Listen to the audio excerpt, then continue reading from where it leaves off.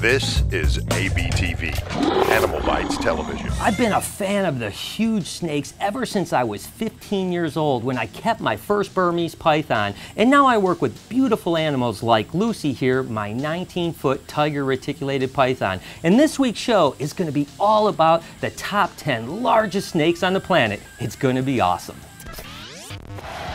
My name is Brian Barczyk. I'm no zoologist, just a guy with a passion for animals. And that passion often takes me on animal adventures around the world.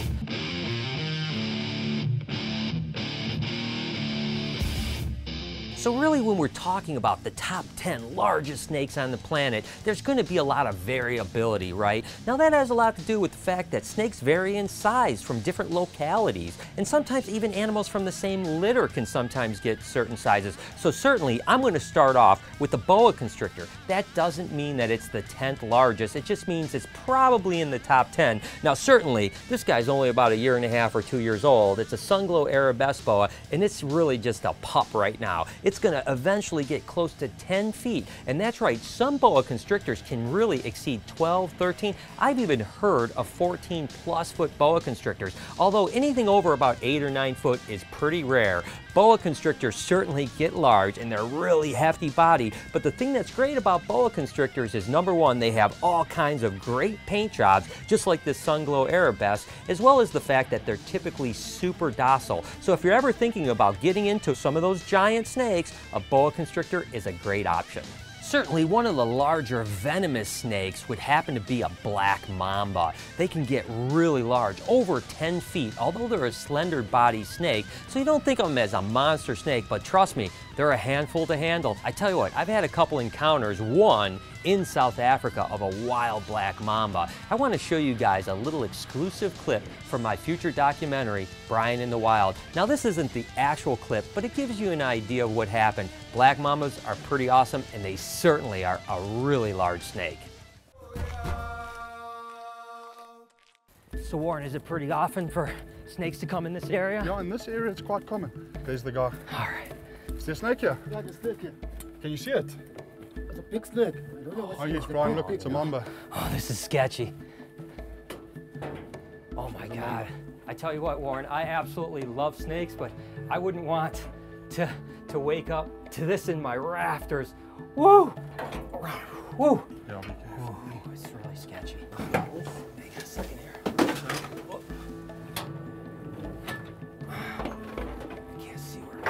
Okay, just get, get him there. Hang on a second. Him lightly. Okay, you got him. You got him. Okay, watch out. Just lift up this. part. I'll help you there. Just to lift that. Yep, it's coming out. Okay, get him on the ground good. here. Okay, I got. oh. All right, and Go away we go. Woo! Good job. All right, the black mamba. Take a look at this, guys. The African black mamba. Woo! What an amazing snake. I've always wanted to catch one of these guys. These guys are probably one of the most feared reptiles in South Africa. But the truth is, they're really not responsible for that many snake bites. These guys are an extremely shy snake. And as long as you're not messing with it like I am right now, you're really pretty safe. Of course, these guys have neurotoxin as well as some cardiotoxin. There's a good chance you might be dead if you ever get bit by something like this. But they're also the second largest venomous snake in the world, only after the king cobra. So I'm gonna pass this off to Warren, who works with snakes like this all the time. So I want the snake to actually reverse on its own as it's doing right here. So it actually wants to pull back, holding it very lightly. Just want to pinch just behind those jaw bones and I'm using these extra fingers because they're so strong they can just pull right out of your grip. You have to be prepared for that. Now it's quite a task to put a snake that's like a coiled up spring into a bag. And you can actually just see one, one of the fangs sticking out. Very often people, once they put in the bag, they get bitten through the bag. Right. So just as a safety, you just let the snake bite because it's it's in a situation where it's really stressed out right now. He doesn't know that we don't want to hurt the snake. So he's going to be willing to bite anything he wants. And of course, you can see that black mouth right there. That is certainly why they call him the black mamba. Next up, amethystine pythons. Amethystine pythons are named for their amethyst-like color. They are found in Indonesia, Papua New Guinea, and Australia. Being one of the largest snakes in the world, specimens have been reported to measure over 28 feet in length although this is probably not true, and these are just field measurements. Typically, field measurements are always way over exaggerated, and nothing over 19 foot has ever been verified. Although not authenticated, some unconfirmed reports have these guys at over 200 pounds. The Oenpelli python, I had the opportunity to mess with these majestic animals three years ago in Australia. The Oenpelli python is one of the rarest pythons on the planet. They're the second largest snake in Australia, just behind the scrub python.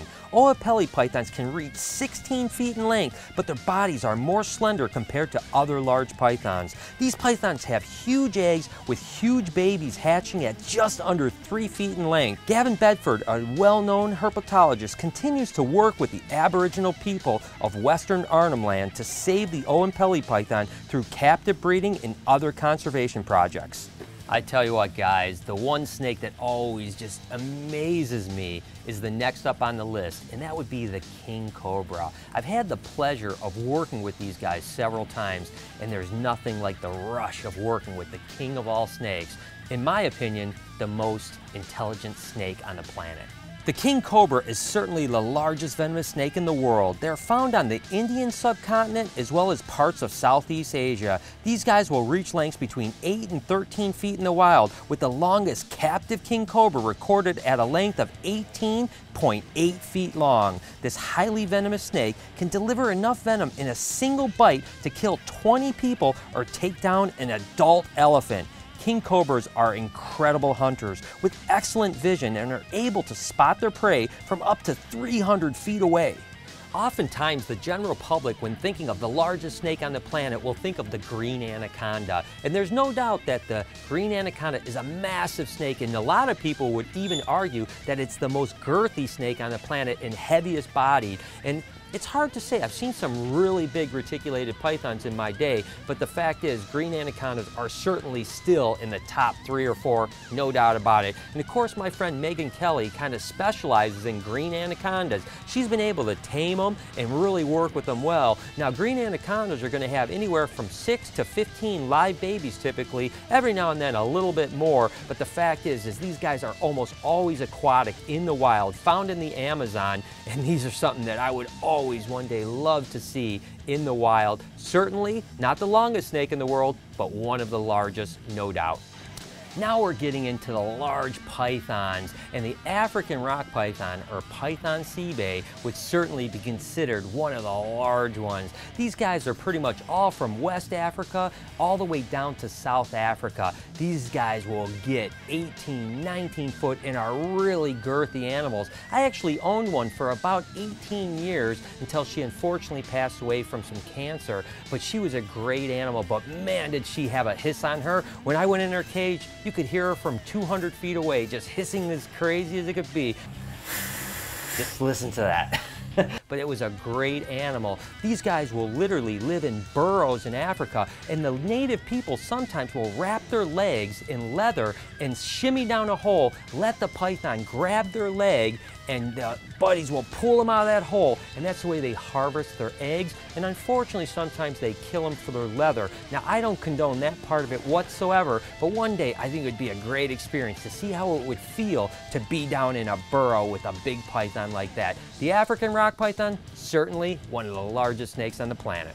Okay guys, I'm gonna cheat a little bit because in reality this snake doesn't actually exist anymore, but it certainly once did, and it's an awesome animal. Of course, the Titanoboa. The Titanoboa lived about 60 million years ago, the biggest and longest snake that has ever been discovered. By researching the fossilized vertebrates, researchers have determined that the largest Titanoboa had a total length of over 42 to 43 feet and weighed 2,500 pounds. That's over a ton.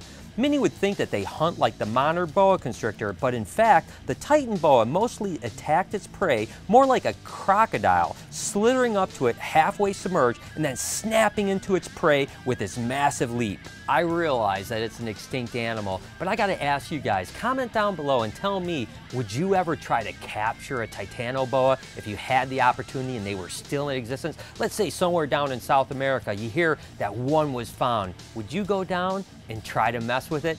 I know I would. A 40 something foot snake, I'm all about that. And then there's the Burmese python. And I'm gonna go ahead and just throw the Indian python in there as well. Although the python molurus molurus doesn't get quite as large as the Burmese python, they look so similar. The fact is, is that Burmese pythons are certainly in the top three or four largest snakes. My girl Sunshine here is a perfect example. But of course, she's not that big. She's only about 11 or 12 feet, but she could eventually max out at 17 to 19 foot. As a matter of fact, there was a Burmese python in Gurnee, Illinois named Baby that was over 300 pounds. Now that's a huge snake. Used to eat goats, believe it or not. That's insane to me. But again, much like the boa constrictors we talked about earlier, the Burmese python are kind of like the puppy dog of the giant snake world. These guys are typically much more docile than some of the other animals that we've mentioned, as well as the fact that they're a lot slower moving, to be honest with you. You can see how Sunshine is. She's just hanging out with me. Whereas earlier with Lucy, although she hung out with me, it took us about 10 minutes to get her to calm down. Sunshine just came out of the cage and this is how she is. Burmese pythons are a great animal for people that want to keep a really large snake. And I've never been in a situation ever that I felt threatened by these animals. Burmese pythons right, right up there with the coolest snakes on the planet, and certainly are some of the largest ones.